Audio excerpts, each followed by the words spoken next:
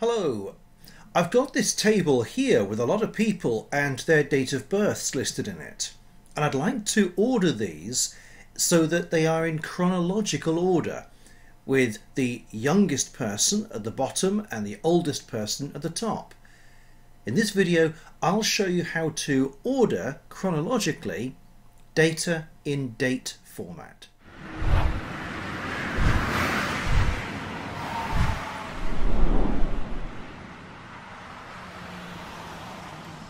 In this table, I've got a list of names. Here are their dates of birth. And importantly, I've formatted these as dates. Let me just show you how to do that. Uh, I've selected these uh, cells here. And in the home strip, I've gone along to date. It'll start off with general in there. Uh, and I've changed that to show short date.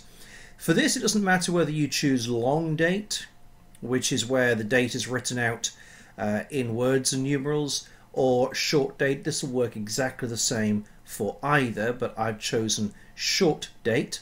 And you'll notice that because I'm in the UK, um, I'm writing these dates the right way round.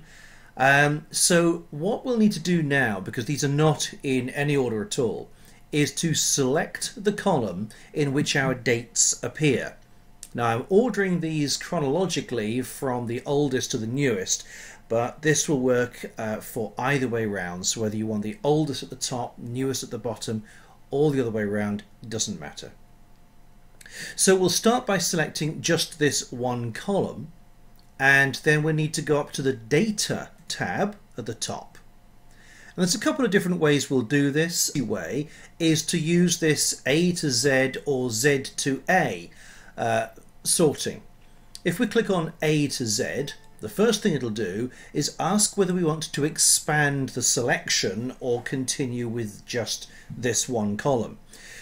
Now I should explain, if we were to select this option, continue with a current selection, then we would only be sorting the data in column B. In other words, these dates of birth would all mix up and go in a different order, but the names would stay exactly as they are. Now, it'll probably mean that most people will end up with the wrong date of birth next to their name.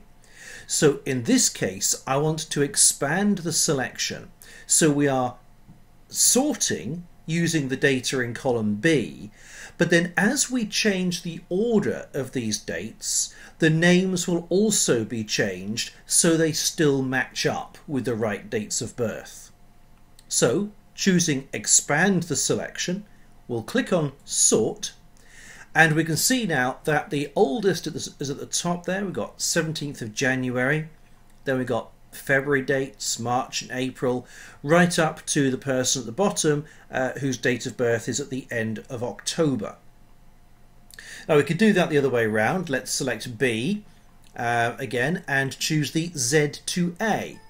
Again, it asks us, do you want to expand the selection? Do you want to keep all the data in this table matched up with the data in column B? Yes, we do. So we'll click sort. And there you can see that the person who was at the bottom is now at the top. Even though we weren't sorting alphabetically or anything um, her name has remained attached to her date of birth. And so now we have the youngest person at the top and the oldest person at the bottom. So that's one way uh, a quick and easy way of sorting the dates in chronological order. I mentioned there was another way um, it's pretty much the same, but it's just using this sort panel. So rather than the quick and easy, A to Z or Z to A, it's using this sort panel. Click on that. Again, same question. We'll expand so the whole table is sorted. And now what we can do is a number of different um, options we can add, but let's keep it simple. To sort by, which column do we want to sort by? We've got column A and column B. So right away, Microsoft Excel can see that we've only got two columns of data. So which one do we want to sort by? Well, we'll click column B. That's our dates. So sort on values, that's the only real one that's going to be of interest to us here. And then we have the uh, option again of oldest to newest and newest to oldest.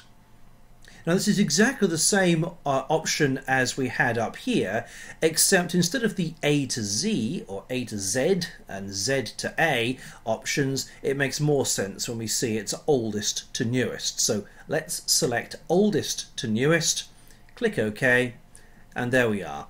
The person born in January is of course the oldest, and the person born in October is the newest or youngest. So that's a really quick and easy way of sorting dates into chronological order.